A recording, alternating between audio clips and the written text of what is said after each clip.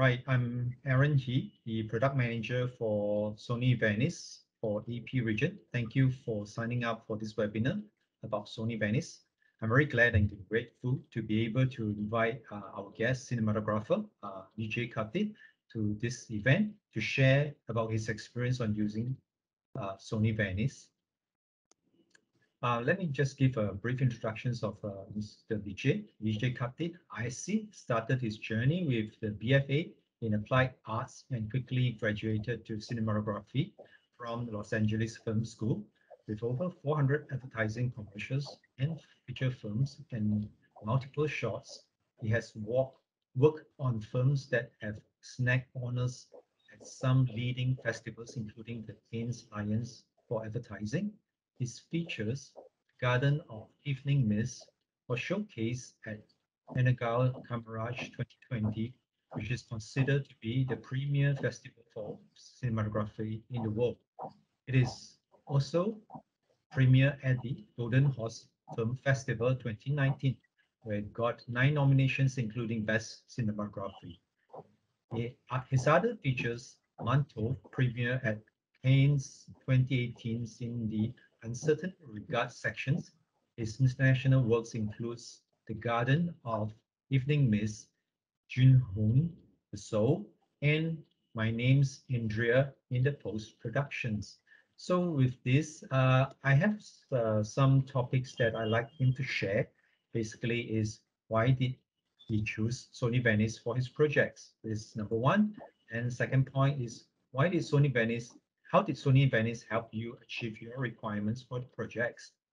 Number three, how's the image XOCN image quality and post-productions experience? And number four, key features that uh, you like about Sony Venice. And lastly, what can be further improved on this camera? With this, uh, I hand over to Vijay to share, to let him share his experience. Thank you. Here you, uh, Vijay, here you are. I hand over to you.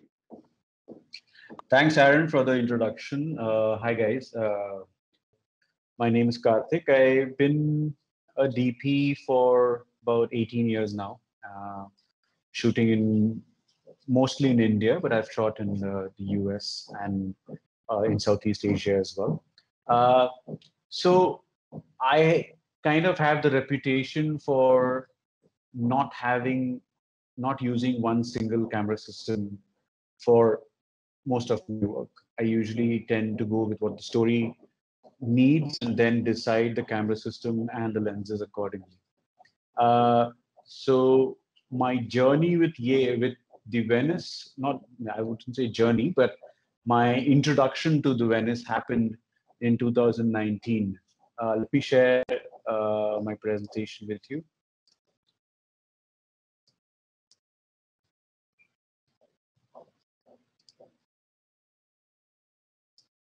Yeah, so um, so the thing is, in 2019, I was approached for a, to shoot a feature called Yeh Ballet.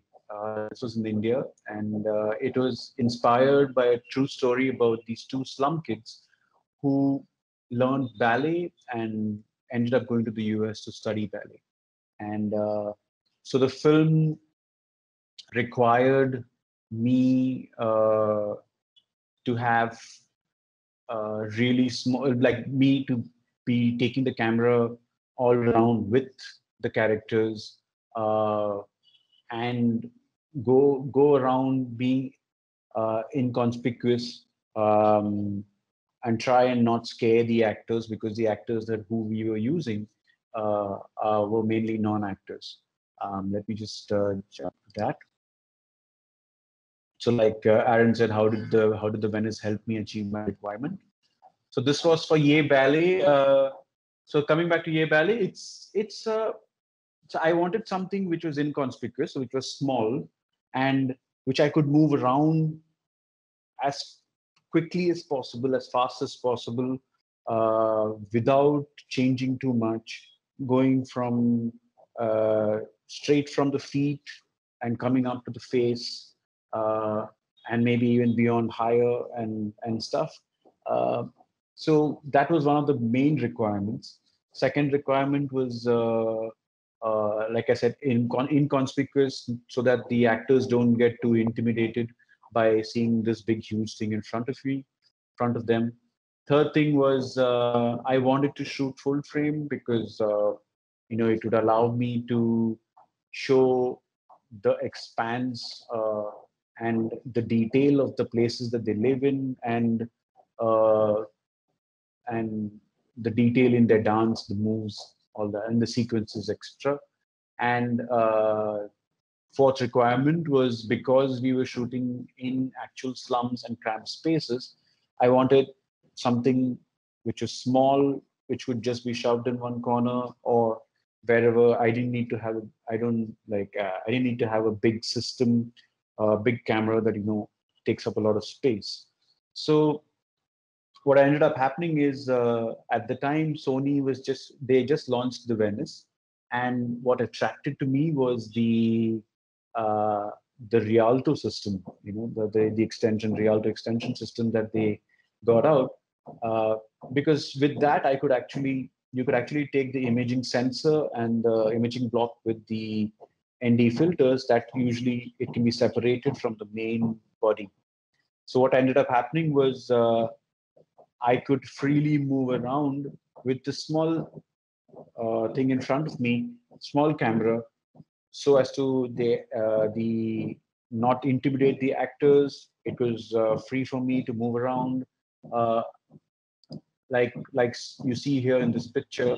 This is what I had set up. So the um, I had the system in front of me. The Rialto was in front of me with lens. I use Sigma lenses in this uh, because those are the only full frame lenses available at the time.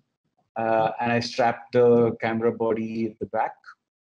I made this uh, bag at the time, and it would allow me to really uh, like go around the actors as they were dancing. I, I could focus on their feet if I had to. I could go low, high, whatever I wanted to do. Um, so that was a great freedom that it allowed. Uh, then at the same time, when I was in uh, uh, in cramped spaces and uh, in the actual slums, it was like a room which was eight by eight, you know, eight feet by eight feet, and there you couldn't, we didn't have the luxury of taking bigger cameras and, and all that. So, so here I could just strap in, like take the system, go go up, uh, go up to the slum, go up to the house, shoot, and come back. And the third and the probably um, one of the other bigger bigger advantages was also uh, the dual ISO. So with dual ISO, what I could do was the outdoors I could shoot at 500 and uh, get a great image. Uh, and uh, the indoors, what I could do was I could shoot at uh, 2500, which was the the the base ISO, and not use that many lights. So I I had some only some lights coming in from the outside, but invariably I could just switch on a practical and then I would be ready to go. Uh, so it eased. Uh, it was easy for production in terms of budget. It was easy for me in terms of uh, saving. It saved me time and effort. Uh, so I built. We practically built in all the practicals and the lights into the set and uh, which actually gave me uh, the freedom to actually move 300 almost 360 degrees around the actors as they were performing um, like you see here in this sequence this is in the final uh, sequence where they they're dancing in stage and I was actually literally running around them and uh, you know trying to capture most of their movements and stuff. And we didn't want we didn't want it to be like a very free flowing steady cam kind of shots. We wanted mostly handheld, so we could concentrate on their faces and and stuff. And uh, the turnaround time from shot to shot was very very quick. Uh, I didn't include any images from this uh, film uh, purely because I didn't think still images would do justice to it. So there are links below that we'll uh, uh, provide later that you can click on. One is for the trailer, and it's also on Netflix, so you can watch it and you'll know how uh, with the movements itself. When you see the movements, you'll know what the camera how it helped me. The second film that I'm about to show uh, the project uh, was a film called The Soul, which I shot in Taiwan. Uh, this was my second feature on the Venice. And if you see for the last uh, about probably about almost two and a half years now, I've I've used the Venice more than any other camera that I um, have used before. Uh, this was purely because of ease of use and uh, and the way the way it renders colors, way it renders the, the kind of details that the uh, that the sensor gives uh, and the camera outputs, and um, and yeah, so so yeah, so after Yeh Ballet, I uh, I had gone to Taiwan to meet a friend of mine where I met director Wei Hao Cheng, and uh, he was going to start a film uh, towards the end of the year called uh, The Soul, and this was his fourth film. And when we discussed about work and the looks and uh, the look of the film, it was really uh, important to him that the look. He didn't want a very high contrasty uh, look to it that you know because usually what happens is people when they say okay it's going to be set it's a story set in the future it's uh it's a murder mystery but like in a fantasy murder mystery you tend to go really uh, high contrast. So we decided uh, he wanted it to be low contrast and and soft uh, and not be like cyberpunkish if i may say that.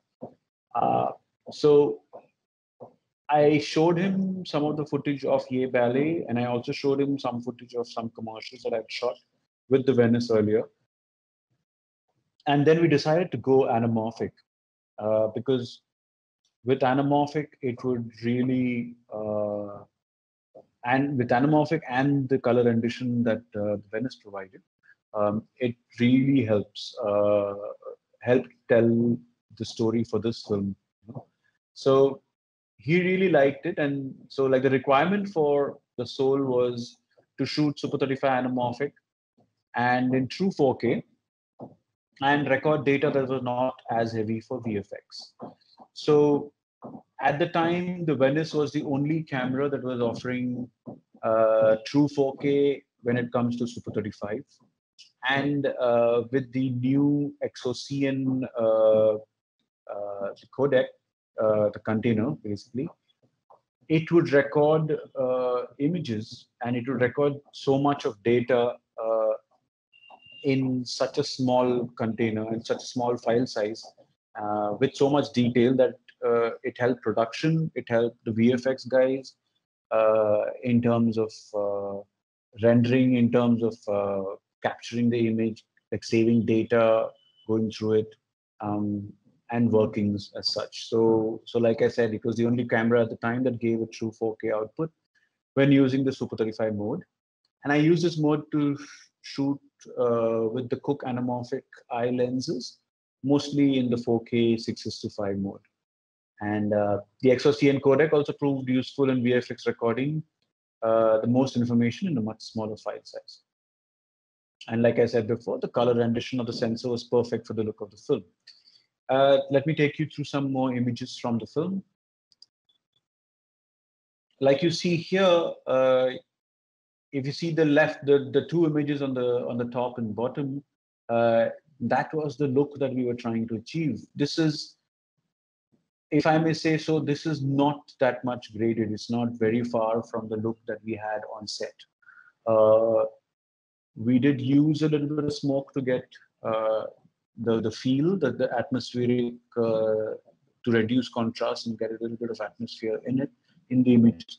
But mostly, this is what we captured.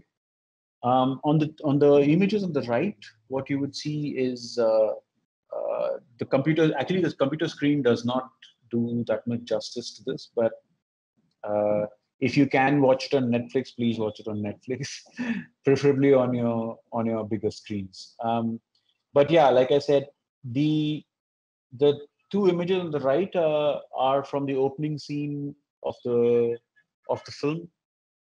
Opening, not the opening scene, in the opening of the film, the, in the first few, uh, first half of the film, where you see the murder being committed, and where how and we were very both both of us were very uh, um, clear in in thinking that we, we we didn't want to see as much detail but we wanted enough that would allow people to see what was going on you know? So if you see here there is uh, uh, enough and more detail that the that the camera put out. And there's only actually there's only two lights which are coming from the outside into the room. And that's all i used and maybe just one astro tube just to give him a little bit of a, a kick or a backlight from the back while I was shooting his close-ups. The this is um, Eric's close-ups while he was committing the murder. Uh, but yeah, I mean, I wouldn't have been able to do this I uh, probably if I had another camera at the time. I think maybe I'll have to add. Maybe I would have gotten the same image, but I would have had to pump in a lot more light. Here, it didn't allow any it allowed me to do this with lesser light and and it was also fairly quicker. These are other images from the film. Uh, on the left if you see that's uh, Chang Chen uh, in his home this is uh, on the right is Chang Chen in his office and below also it's uh, it's his it's his partner and uh, wife had to not wife uh, girlfriend in their home um, in terms of color palette what we had decided was the uh, so this is about Chen who's in his terminal stage of cancer and his relationship with his partner and also his uh, his work towards solving this case. Uh, so we decided to keep the the work part of his life cold and the home part of the or his love or, the, his home part uh, more warmer more soothing to see. And uh, like you see you, you'll see a lot more warmer tones. When you see the film uh, i've shared the link uh, when you see the film you'll know the differences between the two uh, places and the two how we've kind of kept their relationship warmer, whereas his relationship with the cold, uh, with the case and stuff, it's always cold. This is a good example also, like the first, uh, the left image is of him or at work, which is which is cool. Uh, and on the right side, that is him with his uh, explaining to his partner about what's going to happen uh, towards the end uh, of his life. Uh, so yeah, and and the one below is towards the beginning of the film when he's a little more healthier, but it's still warm, warm, warmer than um, you know when he's at work. Uh, there are some BTS scenes that I'll show you. That's uh, have with me, have and me going through some shots uh, on the left. On the right, that's uh, me with the uh, with our focus puller Jimmy. Uh, so and you see that uh, you know that's the Rialto with the Cooke anamorphic lenses. And here you you know it's a very interesting thing that you can see here is I used the Rialto not only because it was small and not only just for handheld stuff, but the beauty of it is that you can actually put in a base plate and and uh, keep it on all the time and then i can just slap it onto a head when i want to and get smooth movements. And if you're jumping from a studio like a like a regular smooth movement if i if you're jumping from that scene to another scene which required a lot of handheld i can just pluck it off the head and and just i'll be ready to shoot. So that was a really really big advantage. And the next image that i'm going to show see uh, show you as on the left there is a there's me with the gaffer Ching Han who's next to me. Uh, that's the camera is in studio mode, like you see, uh, without the Rialto. And on the right is uh, the same camera, but it's with the Rialto. It's on the Rialto, but it's on the head. So here, the differences was that on the left, I had some space. On the right, I didn't have space. So the Rialto really actually helped me to be as far back in the room as much as possible. Still with still getting the like locked shots and smooth shots uh, as in with movement and and stuff. And uh, on the left because i had space i could use the full camera. Um, and another great thing about the the rialto system or or the venice rather is for you to go from studio mode to uh, to rialto takes you like less than 10 minutes you know?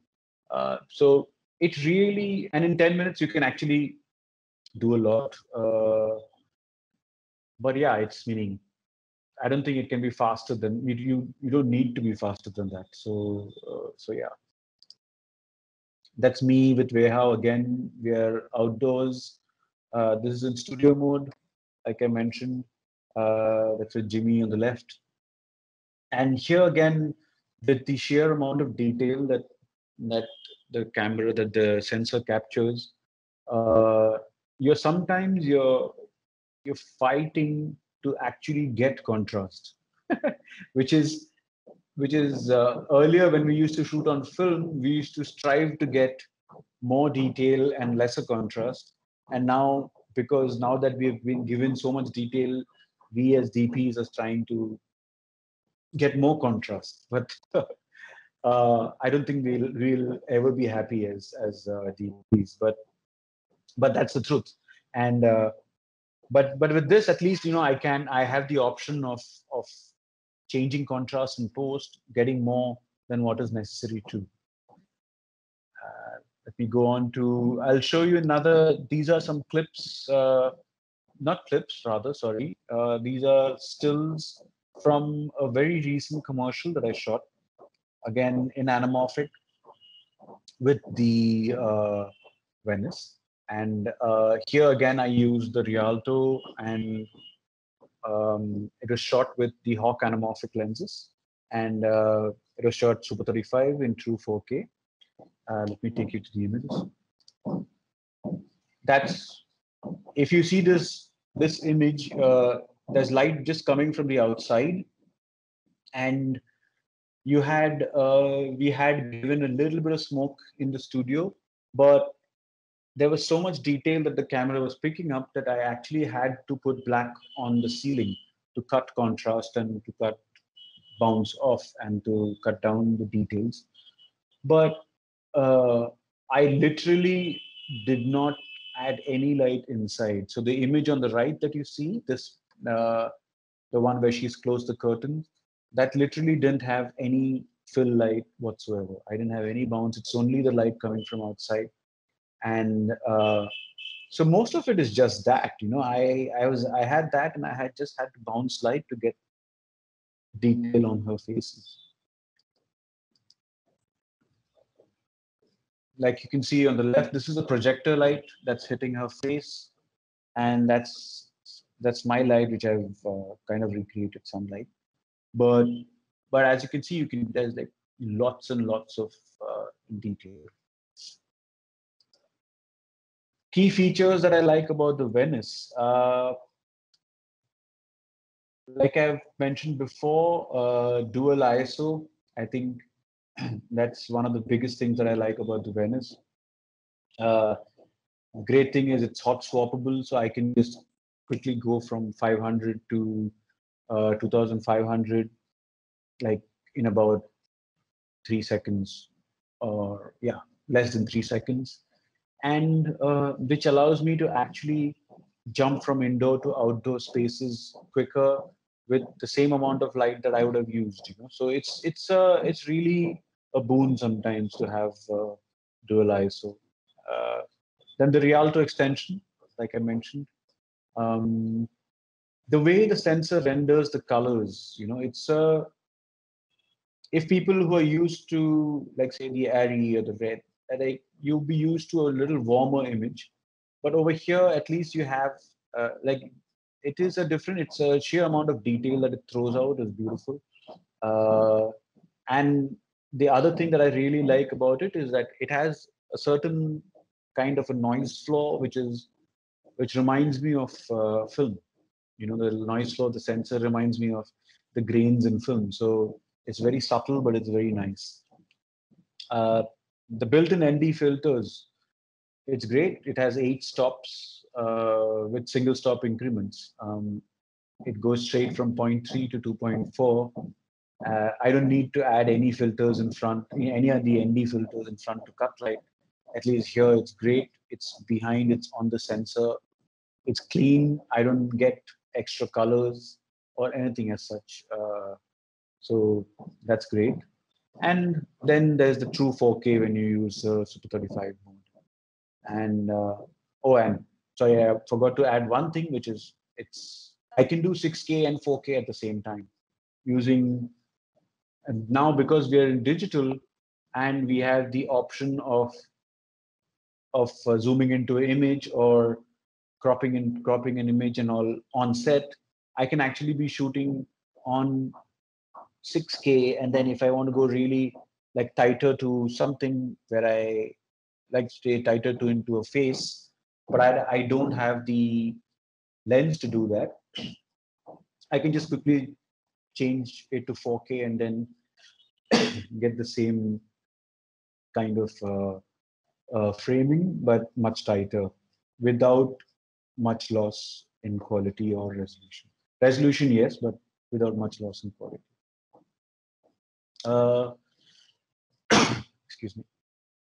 About uh, the XOCN image quality and post-production experience, um, I've just written down a small thing that uh, that came to my mind when I thought about XOCN. I'll just read it out.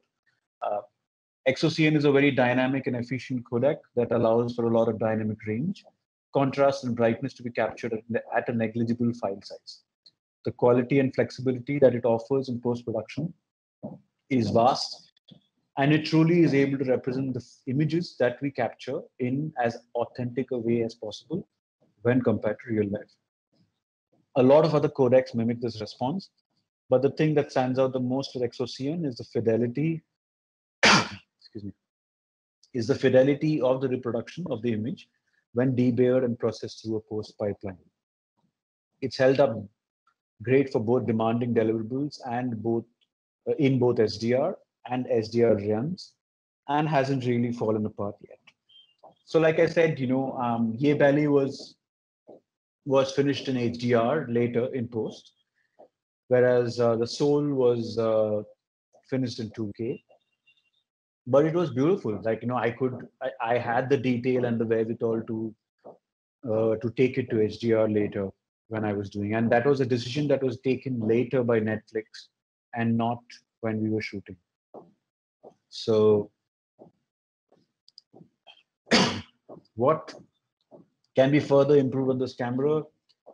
I I'm actually very happy with what they've given me. There's I can't meaning I'm very happy with it, but I don't really see uh, uh, like a huge thing. But I've just put down some like three things that I would I would need. They're small, very small things that I think they might already be working on. But uh, like the menus, I think maybe if you just simplify the menus a little bit, it'll be good not for me but for uh, for my assistants sometimes who uh, who are not that you know well versed uh, like not well versed or educated. They learn on the job so uh, so it can sometimes get daunting and overwhelming you know when they're trying to adjust something on the fly.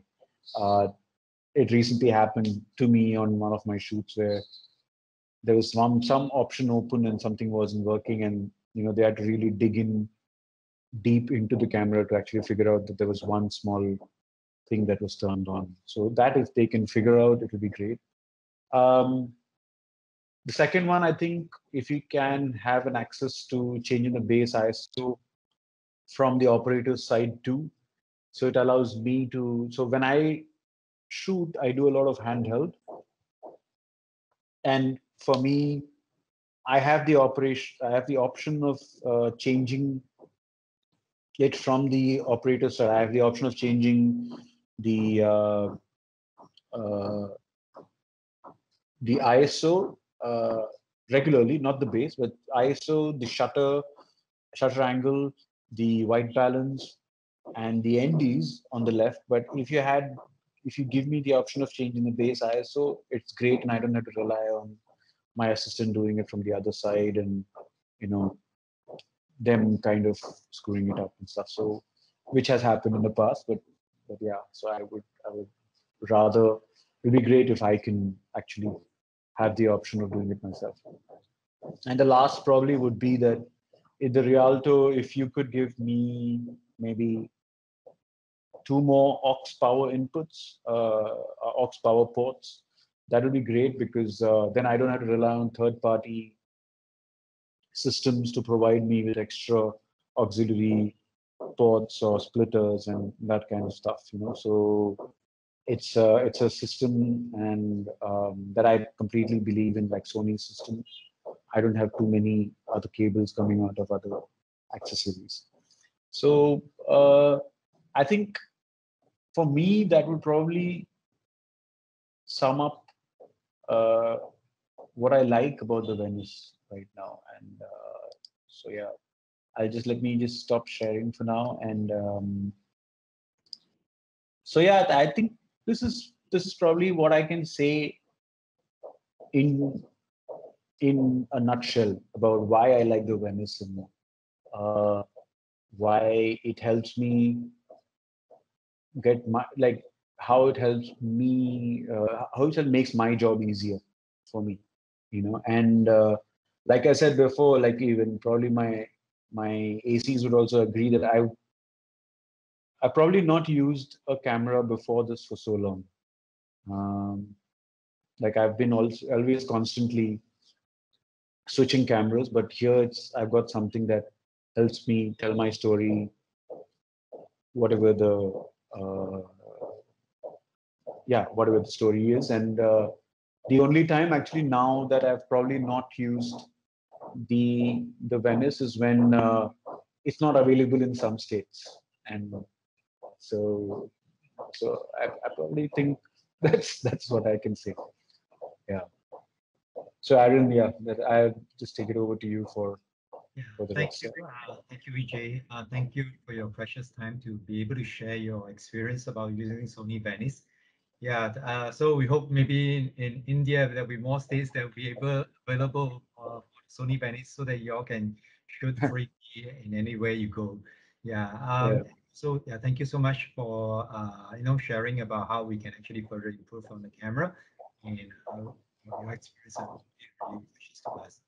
So uh, yeah, so for those uh, who have uh, watched this video and if you have any uh, question and answer do you free to drop in chat and things like that. Uh, you will uh, try to follow up on your questions that you have or any inquiries regarding about this camera. Uh, I hope this uh, sharing by uh, Vijay uh, will be very beneficial to you and uh, hopefully you will consider trying out shooting with this camera. And thank you very much for attending and uh, listening to this uh, session. Thank you so much. Thank you. Okay, thanks. Thanks for sharing. Thanks a lot. Take care bye